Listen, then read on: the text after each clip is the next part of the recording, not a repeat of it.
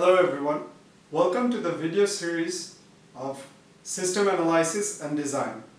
Today's topic is Windows Navigation Diagram. The diagram behind me is a window navigation diagram and using this diagram I'm going to explain to you what a window navigation diagram is. So a window navigation diagram is basically a state machine for your UI. So what does that mean? It means it shows you each elements of your system where upon clicking one specific button you are supposed to go to another page or another form. So it's basically like a state machine but it's for your UI. Okay. So the objects in our window navigation diagram are usually your windows and your hyperlinks and your buttons.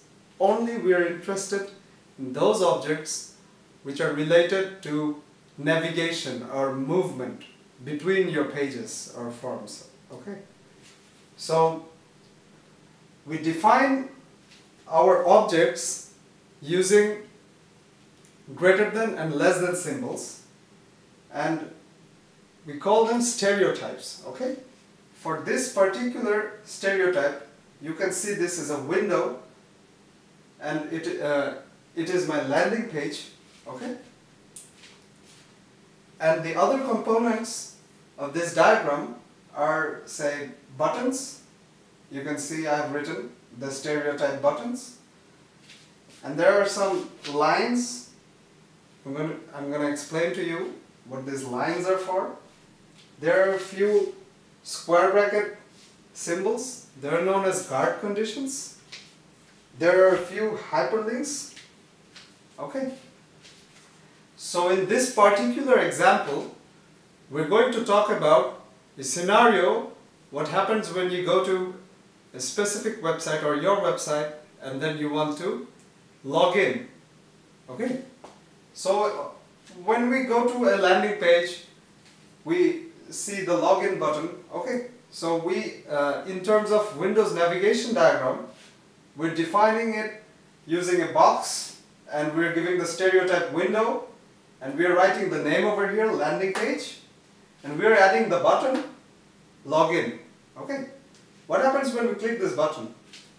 When we click the button we follow this arrow click login button and then we go to the login form we write the name of the form, login form, and we write the stereotype form within the stereotype. Okay. And we add another button, submit. So in the login form there is say user ID, password, the input uh, the input boxes, but we are not bothered about those. We uh, that's not of relevance over here. We're more interested in the buttons that take you somewhere. So once we click the submit button, one of two things can happen. Either you have given the correct credentials and you go to the say opening screen or home page or you have given the invalid credentials and you go to a process of password recovery or maybe user ID recovery process. Okay, so let me talk about the easier one first. Say you have given correct credentials and then you press the submit button. Click the submit button and then you have reached the window and here it is the opening screen or we should say the home page okay and if you did not press the correct one you have pressed you have given invalid credentials and then you have pressed submit click submit button here you have given the guard condition. The guard condition is like an if-else statement, more or less. Okay. Guard condition within the square brackets, if invalid. Just like over here, if valid. So click the submit button and you have reached another window. This is the invalid credentials window. In the invalid credentials window, you may have a retry button. You may have hyperlinks of reset username, reset password. what happens when you press the retry button?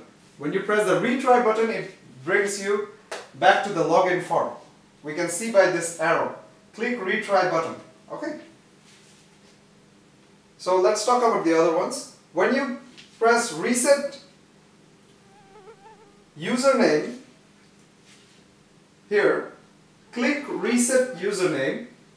It takes you to a form where you can recover your username. Okay. Say uh, in terms of email, you want to recover your username or any sort of protocol of your system, whatever you have set. Say email reset link. Okay. Then it's gonna email you something. But if you press this button, it's supposed to take you back to the login form. Here we can see that it takes you back to the login form. Click email reset button. Okay. What happens in the case of when you click the hyperlink reset password? Click reset password hyperlink. It takes you to another form. Recover password.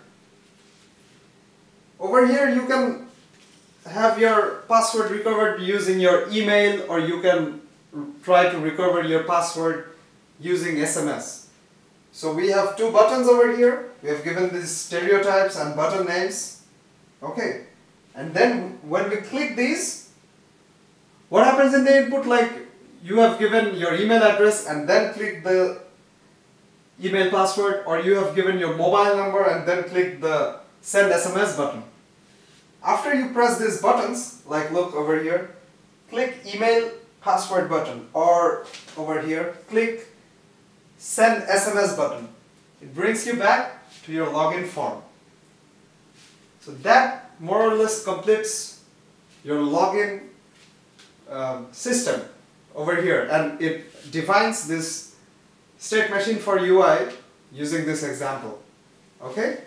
And um, what I would say that window navigation diagram is a small summary of where your uh, window will go from one click to another and then there are many there are many processes that you can basically draw using this diagram.